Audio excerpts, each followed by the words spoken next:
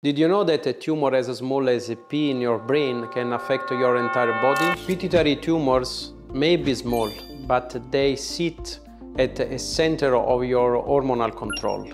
Located just below the brain, the pituitary gland is often called the master gland. When tumors form here, they can impact everything from your vision, your weight, to mood and the metabolism.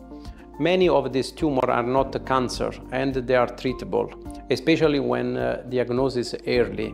At Fakeeh University Hospital, we use advanced imaging and blood tests to accurately diagnose and classify this tumor, guiding a personalized treatment plan that may include observation, medication, and surgery. If you are experiencing unexplained headache, hormonal changes or visual issues, book an appointment with us at Fakeeh University Hospital.